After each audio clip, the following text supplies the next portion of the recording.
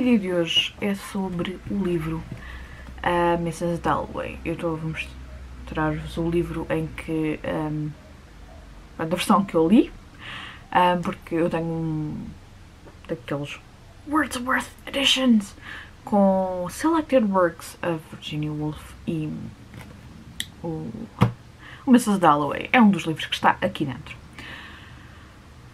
Este foi o segundo livro que eu li da Virginia Woolf. O primeiro foi o A Room of One's Own, que é uma, uma obra de não ficção da autora, enquanto que o Mrs. Dalloway é uma obra de ficção. O Mrs. Dalloway foi escrito em... Eu vou só verificar-se para não dizer disparates. 1925. É escrito como se fosse um fluxo de, de consciência, ou seja, um, é escrito como se alguém estivesse com uma verborreia, vamos chamar-lhe assim, uh, e a pôr toda essa verborreia para, para o papel. Que se calhar é uma maneira pouco simpática de descrever o que é, que é o fluxo de consciência, mas para mim é aquilo que significa um bocadinho o fluxo de consciência. Um, obviamente que este fluxo de consciência é diferente do fluxo de consciência que é escrito uh, no século XXI. Uh, quer dizer, let's get real, uh, as coisas mudaram. Uh, Mrs. Dalloway uh, acontece, a história acontece toda num dia só e a Mrs. Dalloway está-se a preparar para uma festa. Portanto, começa logo de manhãzinha com ela a fazer os preparativos para, para o grande dia e uh, depois, uh, progressivamente, chega-se até à festa. Há uma série de personagens, nós temos o fluxo de consciência não é apenas uh, de uma perspectiva de, de uma pessoa, uh, vai mudando. Aliás, eu acho que aquilo que eu vi também no, na Wikipédia, que depois fui, fui, pesquisar coisas sobre o livro, para ver se tinha percebido tudo como deve ser, e percebi, fiquei muito contente. um, há também outros géneros de, ou outros estilos literários que ela usou, uh, mas eu li a Wikipédia em inglês e não vou tentar traduzir para português. Uh, posso depois deixar o link uh, na descrição para se alguém tiver curiosidade. Eu li este livro em duas ou três vezes, uh, porque lá está, como era fluxo de consciência, para mim é mais fácil ler o máximo possível este tipo de, de, de escrita, porque é daqueles livros que se a pessoa entrar e sair muitas vezes é que cada vez que regressa é mais difícil regressar ao livro, enquanto se a pessoa tiver a habituar-se à, à, escrita de, uh, da autora, é mais fácil ficar dentro do livro. Um, não consigo explicar de outra maneira. A história, acaba, a história é muito à volta da Clarissa Dalloway e eu penso que um, também como é que ela se relaciona com as pessoas à volta dela a relação que ela tem com o marido, a relação que ela tem com a filha, a relação que ela tem com uma. esqueci-me do nome dela. como uma pessoa que está na vida da, da, da, filha, mas que ela não, não gosta dela, a relação que ela tem com, com os criados, a relação que ela tem com dois amigos de infância, a relação que ela tem com o mundo em geral porque a Clarissa eh, Dalloway é uma personagem bastante complexa, eh, uma personagem que hum, não fica completamente claro o que é que aconteceu antes da história, mas ficamos com a ideia que ela esteve doente. Eh, a minha sensação, mas posso estar enganada, é que ela teve alguma doença do foro psicológico. Uh, e a maneira como ela lida com as festas, com o facto da organização da festa e dela obcecar um bocadinho com, com, a organização da festa, da maneira como ela está obcecada em agradecer aos funcionários uh, estarem a preparar as coisas para a festa, a maneira como ela está obcecada durante a festa em, em estar sempre a receber as pessoas. Uh, é uma maneira dela se sentir feliz, mas é uma maneira também dela estar a compensar por, por momentos pelos outros momentos na vida dela que são, não vou dizer que são aborrecidos, mas que são vazios. E ela então usa as festas e a preparação das festas para compensar esse vazio. E eu penso que isso Pode não ter sido a intenção da Virginia Woolf, mas eu senti que era um comentário à vida de, de, das mulheres, especialmente uh, uma certa faixa uh, socioeconómica que não, as pessoas não tinham. Por exemplo, havia aquelas pessoas que tinham de trabalhar para, para, para sobreviver e depois havia aquelas pessoas que viviam dos rendimentos que, que, que os familiares uh, tinham e que se não tivessem algum hobby poderia parecer que era uma vida vazia e eu acho que uh, Mrs. Dalloway ela tenta uh, fazer com que a vida dela não se, sente, não se sentir vazia, mas ao mesmo tempo ela tem uma certa. Um, só me estou a lembrar da palavra em inglês. Detachment das outras pessoas que estão à volta dela. Ela uh, relaciona-se com as pessoas, mas não se relaciona. É uma pessoa que sente que é, que é fria em relação às outras. Uh, exatamente por não. falta ali qualquer coisa e que ela não sabe o que é que é e isso ajuda para criar aquele vazio e as festas é a maneira de ela preencher esse vazio de sentir que está a fazer algo uh, impactante para as pessoas que estão à volta dela. Este é um livro que aborda vários temas e eu acho que a parte de, de, da saúde mental uh, é um deles, que é também abordado com outra personagem, o Septimus.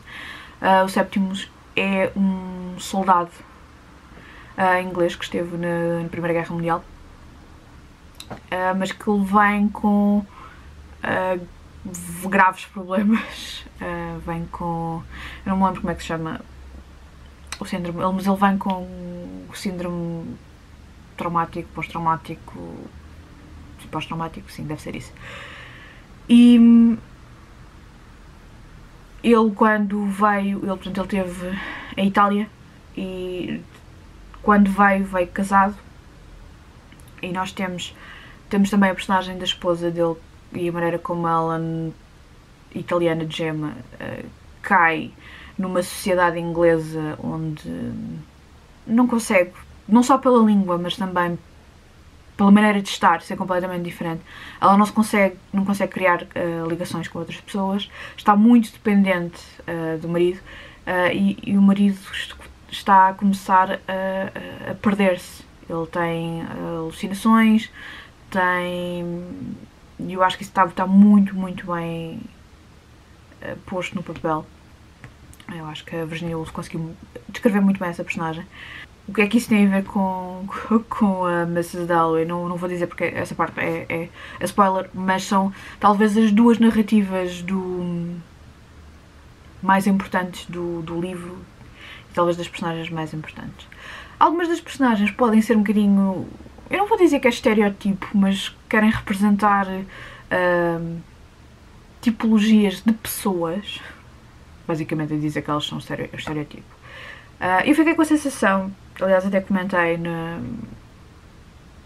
no, no grupo da, da Elisa, dos Leituras com Twist, que eu fiquei com a sensação que uh, estas personagens eram personagens que se moviam no mesmo círculo da, da Virginia Woolf. Portanto, que ela conhecia pessoas que tinham estes comportamentos ou que tiveram estas vivências.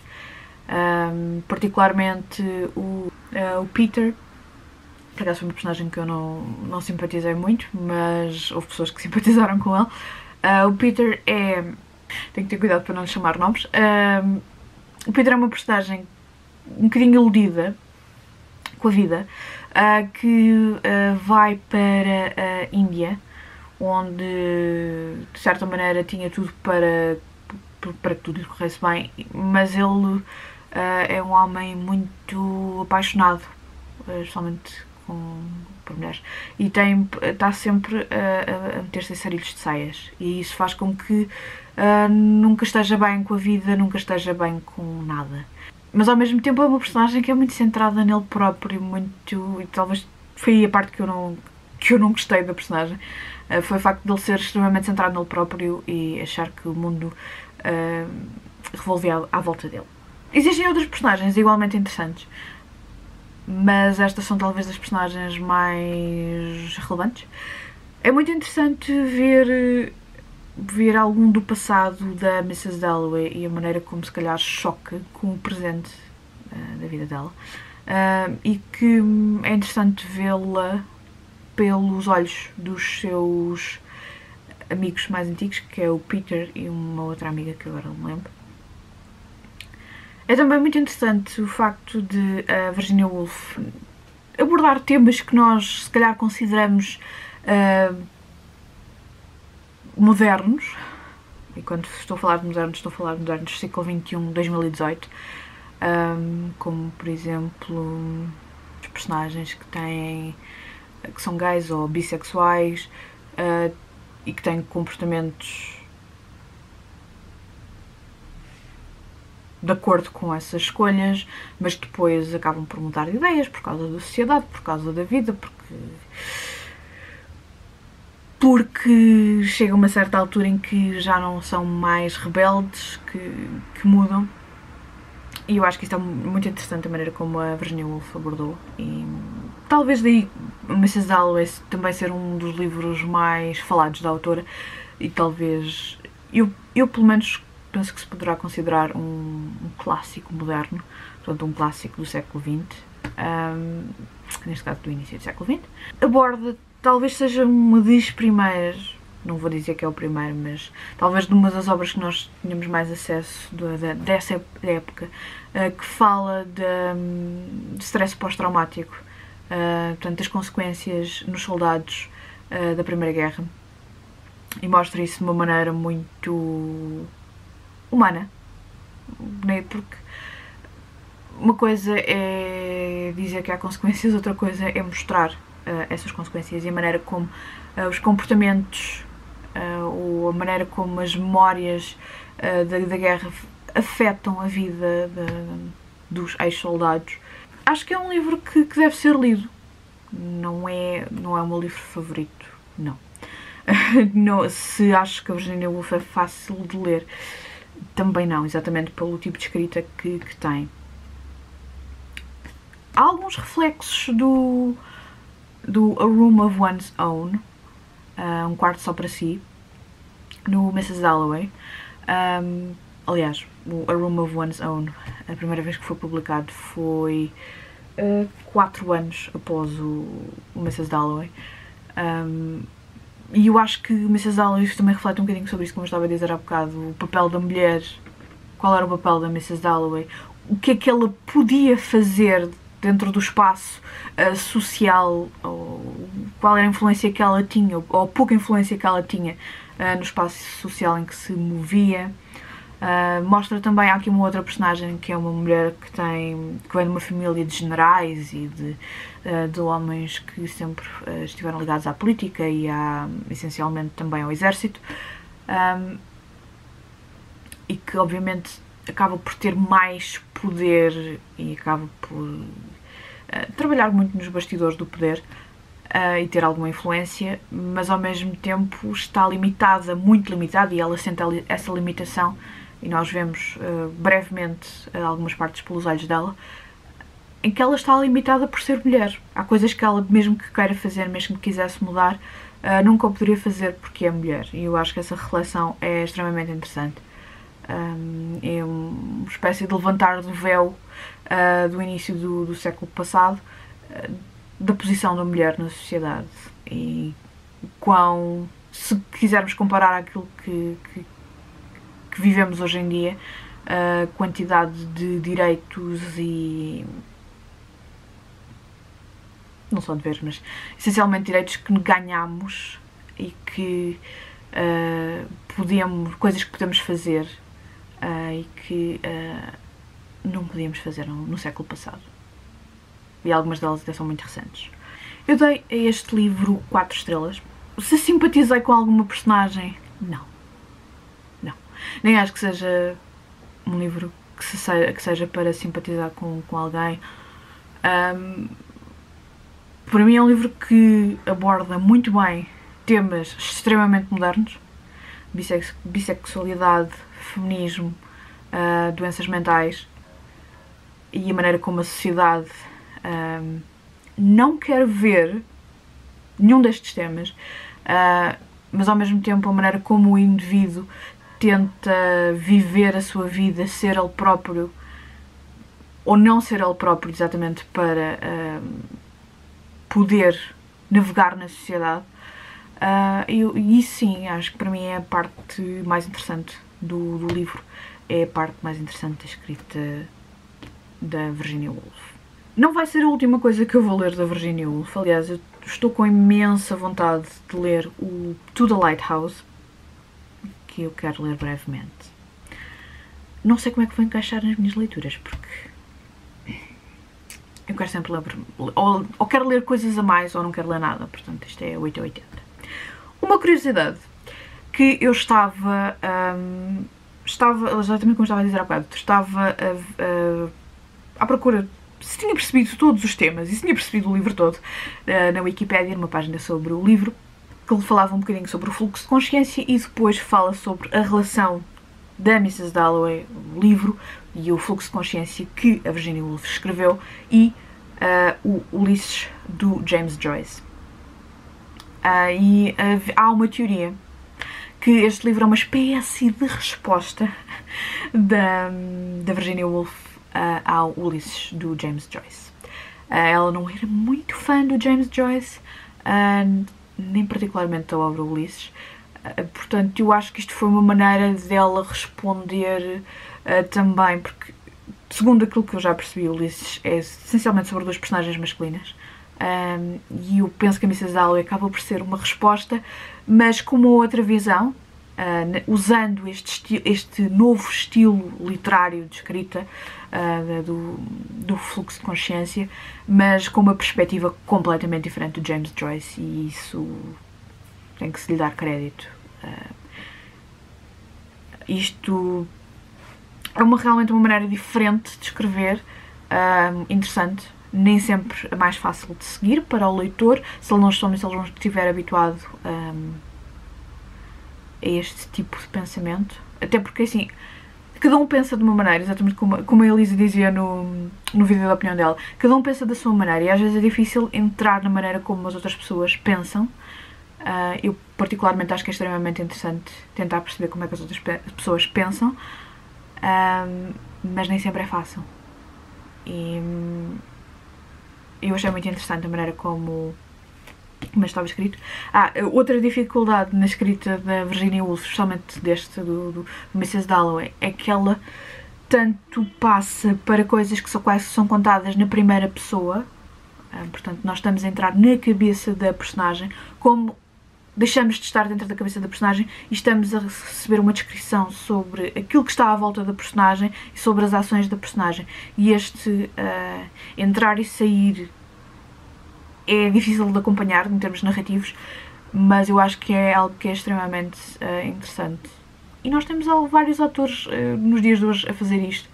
Um, e eu acho que continua a ser uma maneira interessante de contar histórias. Conclusão que eu já estou a falar demais. Uh, gostei da Mrs. Dalloway, uh, recomendo na medida em que é um livro que uh, é inovador para a época em que foi escrito, é extremamente interessante. Pode não ser um livro que seja muito para entreter, pronto, mas que ao mesmo tempo é um reflexo de, da sociedade da época e de, de pessoas de, de, problemas que as pessoas tinham já na época, mas que não eram muito falados e que eu acho que continuam a ser relevantes no dia de hoje. Já leram a Mrs. Dalloway? Uh, o que é que acharam? Ainda não leram? Ficaram interessados em ler? Digam-me nos comentários e até ao próximo vídeo.